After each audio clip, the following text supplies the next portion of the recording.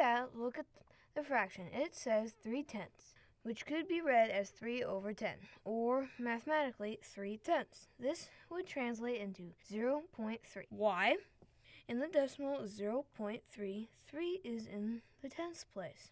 Therefore, the decimal would be read as 3 tenths. Another way to look at this fraction 3 tenths is as a division expression. 3 tenths says 3 divided by 10. When dividing by 10, the decimal in 3 moves one place to the left. Therefore, 3 divided by 10 equals 3 tenths. It's important to note that each factor of 10 you divide by, you move the decimal one place to the left.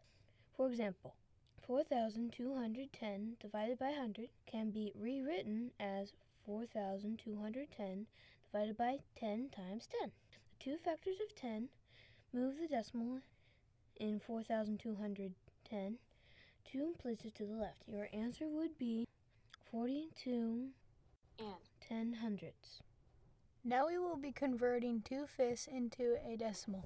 To do that, we could multiply two fifths by two halves, an equivalent form of one. Multiplying by two halves, we are not changing the value of the fraction. We are only changing the terms from fifths to tenths.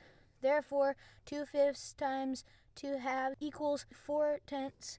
Four tenths could be looked at as a division problem.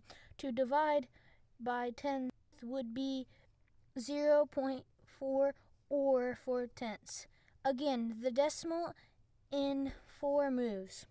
One place to the left because we are dividing by one factor of 10. This is our third and final fraction we'll be converting into a decimal, 4 25ths. We could multiply 4 25ths by 4 fourths, so it becomes 16 hundredths. 16 over 100 says 16 hundredths, which would be 0.16. We know a hundredth is a two digit long decimal.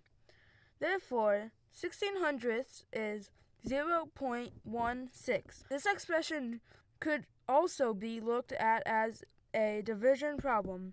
16 divided by 100. When dividing by 100, the decimal in 16 would move to the left. Why?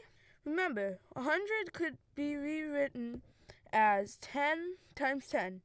The two factors of 10 move the zero two places to the left, thus making 16 hundredths 100 times smaller.